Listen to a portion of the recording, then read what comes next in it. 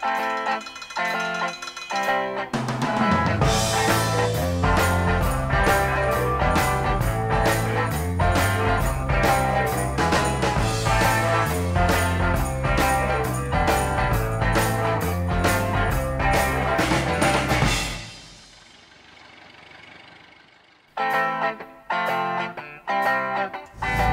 Gerse gast van vandaag is onze nationale weerman van het NOS-journaal, Marco Verhoef. En we hebben afgesproken bij zijn oude middelbare school in Gorkum.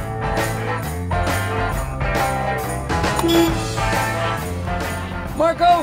Hey! Ja, dat kon natuurlijk ook niet anders. Wat bedoel Dan je? mooi weer zijn. Ja, uiteraard. Hey, als je met een weerman afspreekt. Hey. Hoe is het? Goed hè? Jou? Jouw school. Ja. Ik reed hier van de week langs op de fiets. En toen zat ik te realiseren dat het 35 jaar geleden was dat ik hier op school gezeten had. Ja, de tijd gaat hard, hè? Hou op. Wanneer is jouw fascinatie voor het weer ontstaan? Ja, dat is eigenlijk heel langzaam gegroeid. Kijk, wij moesten natuurlijk heen en weer rijden. Ik, ik woonde niet in Gorkum, ik zat hier op school. Ik woonde in, in Hardingsveld. Dat is 12 kilometer heen en 12 kilometer terug. Op de fiets? Op de fiets, Ja. elke dag. En door weer en wind. En we hadden thuis in de achtertuin zo'n minimum-maximum thermometertje hangen. Dan moest je elke dag op een knop drukken en dan reset hij hem weer. Ja. En dan kon je dat, dat heb ik geprobeerd een poosje bij te houden. Maar ja, na een maand of twee zaten er al van zulke gaten in die, in die tijdreeksen. ja, toen ben ik er maar weer mee gestopt. En ik, dat heeft ook niet zoveel zin. Maar ja, er gebeurde wel wat, denk ik.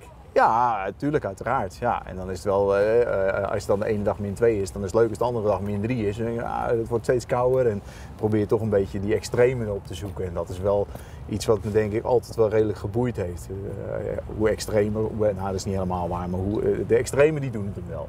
Hé, wat was jij voor jongetje?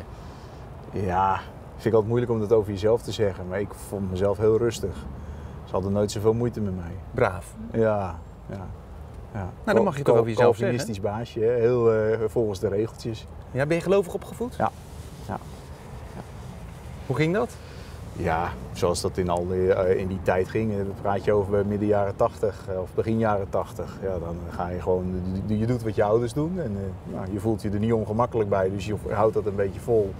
En je ontmoet daar mensen waar je het ook gezellig mee hebt. En zo gaat het dan langzaamaan door. En ging je dan elke zondag naar de kerk? Ja, ja. Dat, eh, toen ik thuis woonde wel. Eh, dat is later wel eh, minder geworden. Nu ga ik eigenlijk nooit meer. Maar ja, wij gingen wel elke zondag. Ja. We, we hoefden niet, maar als we niet wilden, dan moesten we. Wat bedoel je? Nou, als, ik, als mijn ouders zeiden, je hoeft niet naar de kerk, maar als je niet wil, dan moet je.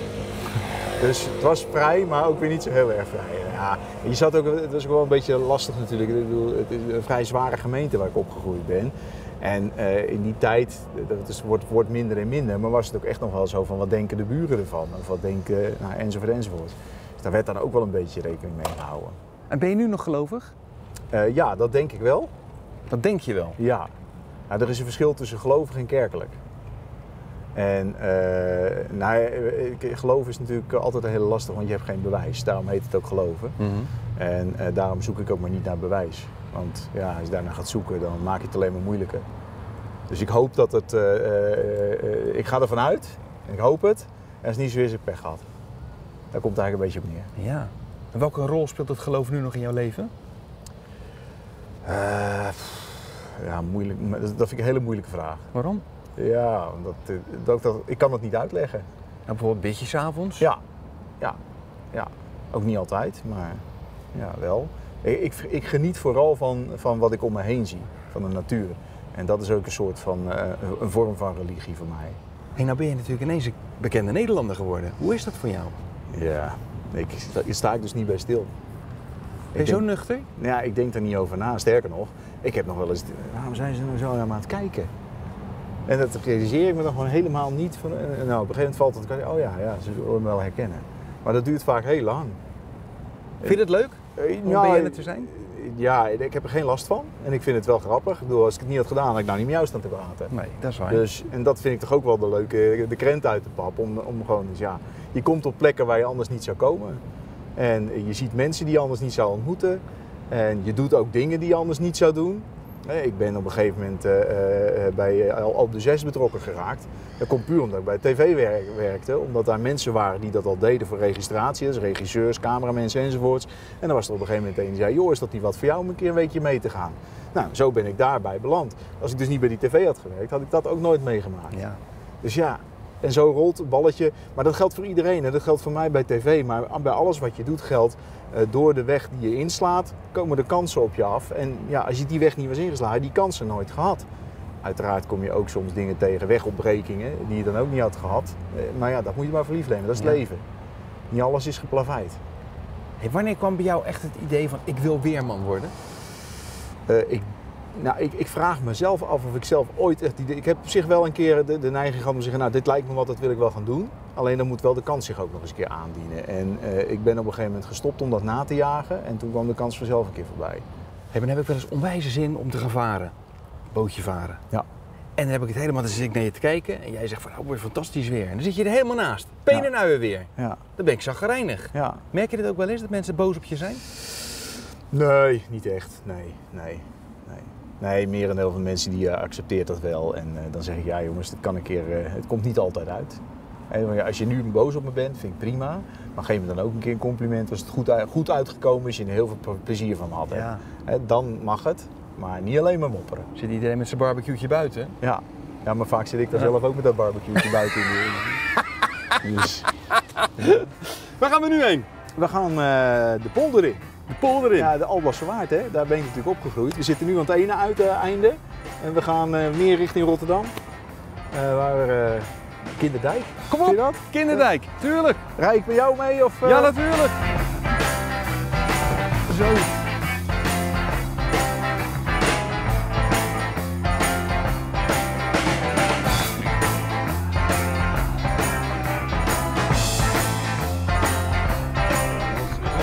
Alles wat je hoort, het lied van Feyenoord. Ja, Kinderdijk eh, fietsen ben ik, eh, ben ik een beetje aan verslaafd geraakt. Oh. En bij mij vandaan is dat een heel mooi rondje om hier uit te komen.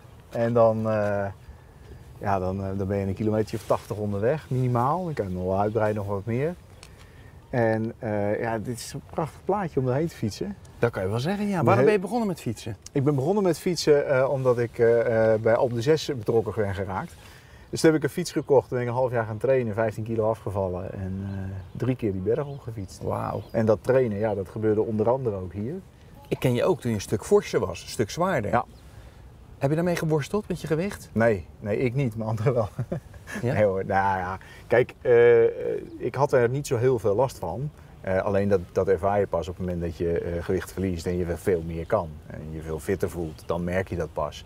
Het was niet zo dat ik er heel veel last van had. Maar ja goed, ik wilde natuurlijk uh, al de 6 gaan fietsen. Ja, dat kon echt niet met de kilo's die ik toen bij me had. Hoe Ja, zwaar was je? 96 kilo of zo. 97 op de max. Ja, Ja, dat is voor zo'n klein mannetje is dat natuurlijk best wel aardig wat. tuurlijk, ja. Als je nu naar de BMI kijkt, ben, zit ik nu nog te hoog. Maar ja, er is al wel 15 kilo af. Dus ja, en dat, dat, je voelt je een stuk frisser, een stuk fitter. En dat is de win-win situatie. Hè. Ik eh, moest veel gaan trainen, ik was veel weg thuis. Maar het gevolg was wel dat ik een fitte man terugkwam. Hoe kwam het dat je te dik was? Ja, dat, gro- dat groeide erin. Zittend beroep, eh, minder sporten, lekker snoepen, lekker eten. Ik ben wel een Bourgondier, ik hou ontzettend van lekker eten. Een biertje lus ik ook wel, een wijntje lus ik ook wel. Ja, en als je dat eh, door de jaren heen laat... eh, het ging ook kabbelend, het, heel kabbelend werd het meer en meer. Nou ja, dan moet je op een gegeven moment een keer rigoureus ingrijpen en zeggen, nu moet het minder. Dus Kinderdijk is wel een beetje een kantelpunt voor jou geweest. Ja. Dit heeft jou fit gemaakt. ja, hier ben ik wel fit geworden in ieder geval, ja. ja.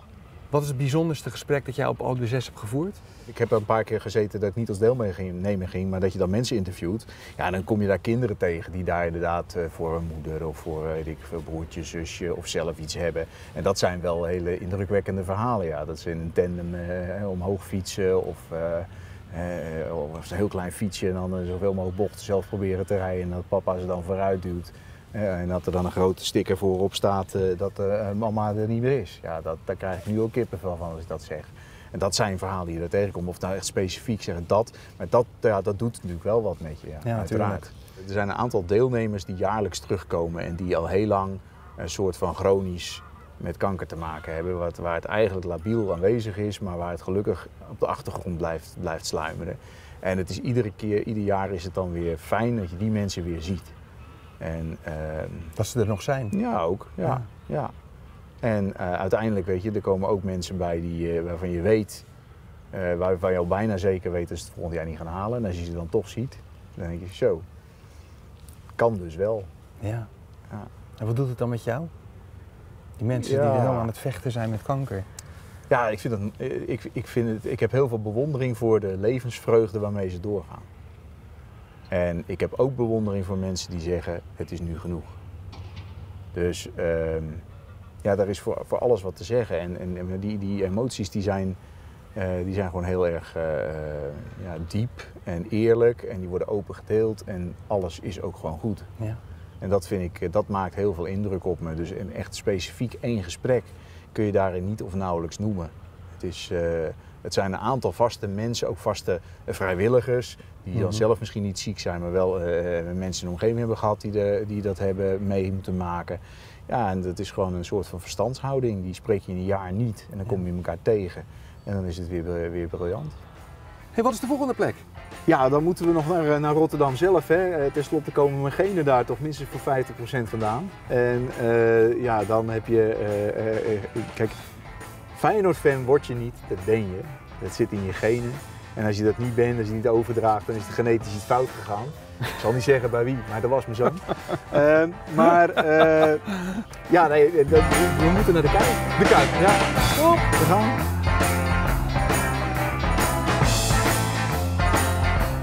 Zoek een plaatsje in de zon. In de zon. Waar je zo gezellig zit. Wat betekent dit stadion voor jou? Ja, weet je, Feyenoord-fan, dat ben je, dat word je niet. Het zit in je genen. Ik ben geen diehard fan, hè. Ik zit niet elke week op de tribune. Maar, de keren dat je hier bent, dat is wel heel, eh, heel gaaf. Wat heb je met Feyenoord? Nou ja, dat, dat is gewoon van jongs af aan ingegoten natuurlijk. En, eh, en ook allemaal niet zozeer dat we er nou heel vaak kwamen. Maar ik weet wel, de allereerste keer dat we naar het stadion gingen, was een bekerwedstrijd tegen Ajax. Ja. En ik meen dat Peter Houtman de winnende maakte. We hebben 2-1 gewonnen toen. Ja, dat was briljant natuurlijk. Echt schitterend. Je, je bent dan als klein man, ik weet niet eens hoe oud ik was, maar ik denk jaar of 11, 10, 11 of zo denk ik. Ja. Met mijn vader en mijn broer. En dan, eh, ja, dat is een vol stadion natuurlijk, kolkend. En, eh, Hey, en wat voelde je toen? ja, Toen je in die Kuip zat? de- je bent, komt als klein mannetje, weet je, ik woonde natuurlijk niet in de stad. Ik was niet echt de stad gewend, ik woonde in een dorp. Ja, Ik kwam Hardingsveld, af en- Giessendam. Ja, ik kwam af en toe wel eens een keer hier in, eh, in de stad, op het Zuidplein of zo, om te, om, omdat we kleren moesten halen. Maar veel meer dan dat was het, eh, was het eigenlijk niet. En eh, ja, dan kom je in zo'n groot stadion, dat kolkt aan alle kanten. Dus natuurlijk eh Feyenoord hier, Feyenoord daar. En, ja, dat vergeet je niet meer, dat is echt eh, fantastisch. Ik weet ook nog wel dat ik het wel een beetje eng vond op een gegeven moment toen we naar buiten gingen. Dan moest alles weer door zo'n klein poortje heen en dat was allemaal een beetje een gedrang. Ja. Dat vond ik wel een beetje, een beetje spannend op dat moment. Dan ben je natuurlijk zo'n heel klein ventje. Maar ja, dan komt er zo'n grote Rotterdam. Kom jij maar even hier, jongen. En die eh, leidt je dan heen. En eh, ja, je vader komt daar aan. Die, kon dat natuurlijk overzien en ik helemaal niet. Dus het is wel helemaal zo heel klein van waar is papa? Nou ja, het kwam uiteindelijk allemaal goed. Ja. En toen Feyenoord voor altijd. Ja, nee, nou ja, dat, daar, ja dat, ik ben wel een vasthoudend typeje. Dus Ja. eh, dat eh, raak ik niet meer kwijt. nee. Wat is de meest memorabele wedstrijd van Feyenoord die je hebt gezien? Waar ik bij ben geweest? Ja, of sowieso. Ik denk toch dat het eh, de Europa Cup finale was tegen, tegen Dortmund. Het, eh, weet je, ja, op een gegeven moment als je jong bent, dan, dan, dan landt dat allemaal niet zo. En op een gegeven moment komt het pas, gaat het echt leven. En dat je dan ook inderdaad, dan krijg je zo'n gevoel erbij dat, dat je, je hartslag omhoog gaat en dat je echt de spanning voelt. Ja, dat, met dat soort wedstrijden heb ik dat wel gehad. En dan is Dortmund denk ik wel de mooiste. Dat, Ja. eh, Pierre inderdaad tegen een paar van die eh, mooie ballen erin schoot. Zo. Wat Ja, gebeurde er met jou toen we die wonnen? Die Ja, dat is een soort bevrijding. Weet je, dat je denkt van, hé, hé, het kan weer, het kan nog. Kijk, de, de, de gewone beker, de Nederlandse beker, die wonnen we nog wel eens. Dat was zo'n beetje de enige prijs die we wel eens een keer pakten. En als je dan een keer zo'n grote, ja, dat is echt wel eh, heel gaaf. Kan je zelf eigenlijk een beetje voetballen? Ik kan alles een beetje. Dus eh, Een beetje? ik heb ooit vier jaar op voetbal gezeten toen ik eh, zo'n klein manneke was. Ik heb twee doelpunten gemaakt in heel mijn carrière. Wel, dan heb ik wat leuks voor je. Wacht even. Ah, die is lekker. Kijk hem gaan, joh! Hey. Dat ik hem dan doodleggen in mijn nek, hè? Kijk eens! Je doet joh! Kijk eens eventjes! Hey, Ah. de voetballende weerman! Nou, eh Ja, dan worden we uit, bedankt hè? man. Het is weer mooi geweest. Conditie van de oude wijkagent. Jij? Maar ik Jij heb- niet? Ik heb, fiets- fit. ik heb fietsbenen, maar Ja, geen precies. Geen voetbalbenen. Geen voetbalbenen. Je bent een Gerse-gast. Dankjewel. En eh, een beetje goed weer voorspellen, hè? alsjeblieft, de komende Ja, tijd. ik hou me aan... eh, Lekker zomertje. Ja, maar ik voorspel niet, hè. Ik verwacht. Voorspellen doe je met een glazen bol. Oké. Nou, verwacht het dan maar. Ja, dus ik doe mijn best. Tot vriend. Hey, doei. Hoi!